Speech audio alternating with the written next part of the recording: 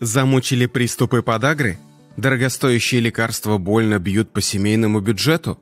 Стоит попробовать простое и очень дешевое средство народной медицины – соду. Как она может помочь при подагре и как правильно ее применять, расскажем в этом видео. Причины подагры. Основная причина этого заболевания – нарушение метаболизма – Ряд продуктов, богатых пуринами, недостаточно хорошо усваивается человеческим организмом, из-за чего в крови повышается уровень мочевой кислоты. Стойкое повышение этого показателя приводит к воспалениям суставов и отложениям мочевой кислоты под кожей, так называемым тофусом. В запущенном виде они могут приводить к абсцессам, которые потребуют хирургического вмешательства.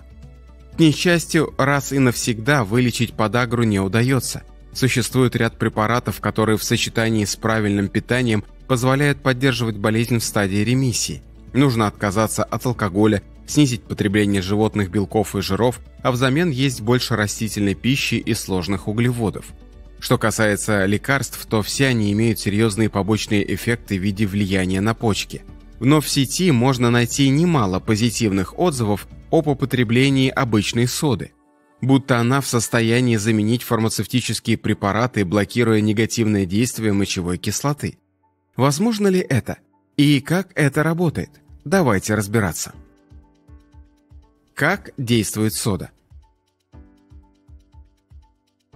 Сода или гидрокарбонат натрия – это химическое соединение, которое создает щелочную среду.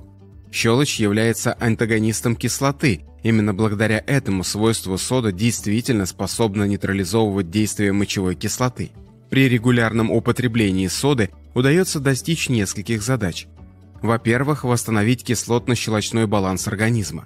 Во-вторых, растворить солевые соединения в суставах и вывести их из организма. В-третьих, оказывать антисептический эффект на весь организм и эффективно бороться с паразитами – Таким образом, сода является комплексным средством, которое способно справиться не только с подагрой. Но именно при этой болезни многие используют соду в качестве спасительного средства. Важно и то, что сода помогает не только при приеме внутрь, но и как местное лечебное средство. Поэтому оно может быть использовано людьми с разным состоянием здоровья. Как же правильно применять соду при подагре? Смотрите далее, и мы дадим 4 действенных рецепта лечения подагры этим химическим соединением. Дорогие друзья, цените здоровье, а мы будем регулярно помогать вам полезной информацией о его укреплении. Подписывайтесь на канал, чтобы не пропустить важное. Как лечиться содой правильно? Начнем с описания способов местного применения соды в лечении подагры. Первый из них – ванночки.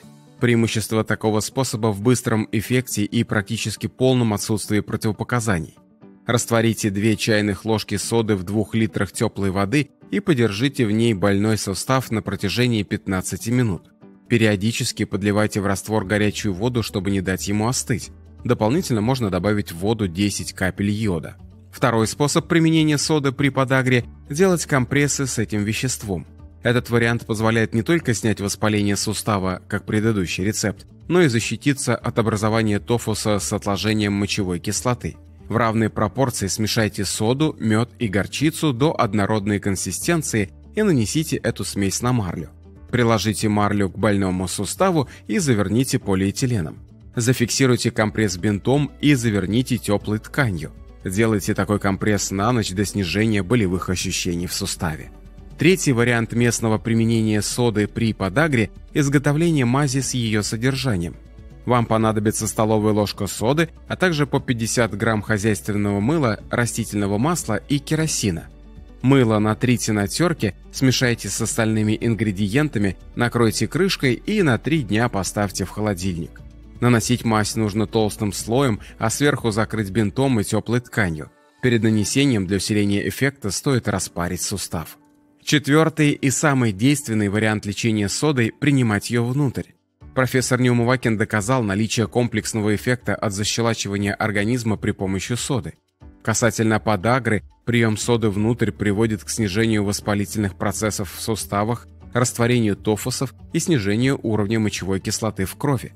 Таким образом, убираются предпосылки для подагрических обострений. Четверть чайной ложки соды размешайте в стакане воды и выпейте за полчаса до еды. Принимайте этот раствор трижды в день. После этого нужно сделать трехдневный перерыв. Если никаких побочных эффектов приема соды не появится, увеличьте дозу до половины чайной ложки на стакан воды. Принимайте раствор в течение трех дней и снова сделайте перерыв на тот же срок. Так постепенно повысьте концентрацию соды до чайной ложки на стакан воды. Противопоказаниями для приема соды внутрь являются оксалатные камни в почках и пониженная кислотность желудка. А вы пробовали лечить подагру соды? Расскажите о результатах.